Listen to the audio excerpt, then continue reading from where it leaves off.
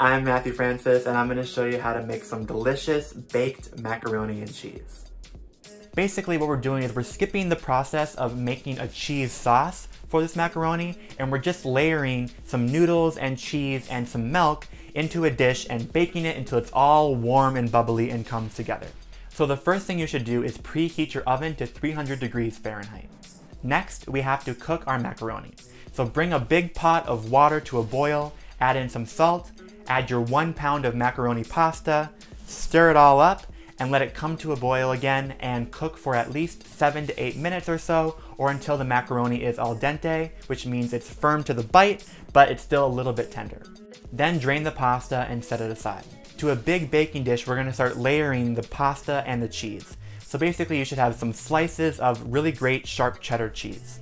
Into your baking dish, put down a layer of the macaroni noodles, then put a layer of your slices of cheddar cheese, then do more macaroni, then more cheese, then more macaroni, then more cheese, until you end up with a cheese layer on top. You should be out of your macaroni and finish with the cheese.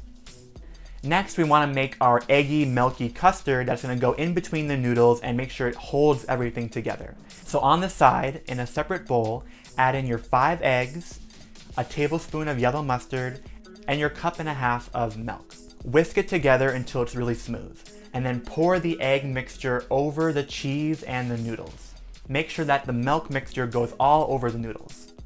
Then you're just gonna put it in the oven and let it cook for at least 20 to 25 minutes until all the cheese has melted, the eggs have cooked, and the cheese begins to bubble a little bit on the edges and get a little bit brown. The goal here is to have a little bit of color on top, but you still wanna make sure that everything still stays moist and loose and wet. We don't want our cheese to get too hard and to congeal here. We want it all to stay really nice and loose. Then put this whole dish of mac and cheese on the table, scoop yourself some up, and sprinkle with some black pepper for some garnish and enjoy. And there you go, that's how you make some simple and delicious baked macaroni and cheese.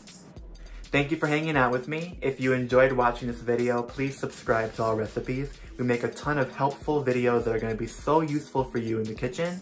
And don't forget to press that notification bell so you don't miss any of the great videos that we do make.